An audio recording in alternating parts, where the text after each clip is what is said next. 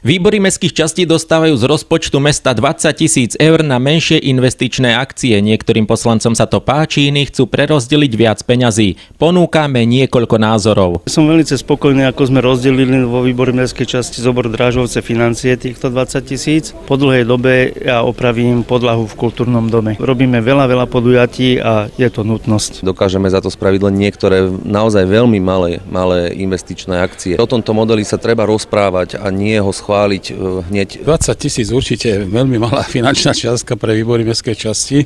Sú to len na drobné investičné akcie opravy nám výtlkov. Náš poslanecký klub už na rozpočtovom zastupiteľstve v decembri 2015 navrhoval navýšenie tejto čiastky o 500 tisíc eur z predaja majetku s tým, že aby sa to rozdelilo pomerne na, či už na počet obyvateľov, počet poslancov. Poďme sa baviť o akciách, ktoré jednotlivé výbory mestskej časti potrebujú.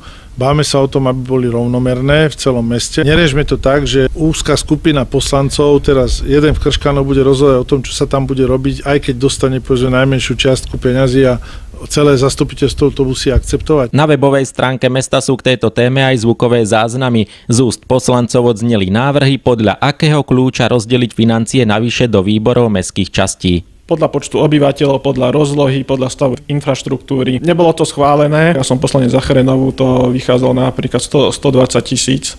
A to sú, to, to sú tie podnety od ľudí, ktoré si ľudia najviac všímajú. Za 120 tisíc by sa dalo urobiť dosť, ale za 20 tisíc neurobíte takmer nič. My sme troška vo výhode, keďže Klkočina má skoro 20 tisíc obyvateľov, takže nemyslím si, že by to mal byť len počet obyvateľov alebo len počet poslancov. No mestský parlament sa na tomto nezhodol. Prečo? Zisťovali Povedali sme, tu je jedna z možností. Čo hlavne mňa tomto dnešnom návrhu vadilo, bolo to, že v podstate my sme ho dávali, našiel podporu a teraz nás žiadajú podporu, že nech sa podporujú oni vlastní v rámci tej svojej tzv. koalície. Nezávislí poslanci, ktorí hovorili, že to je ich myšlienka, dušovali sa za to, že to podporia, tak nakoniec nehlasovali za to. Uvidíme, či v tejto téme nájdu poslanci spoločnú reč, no zatiaľ je skôr jablkom sváru medzi nimi. Jozef Jurík, televízia Nitrička.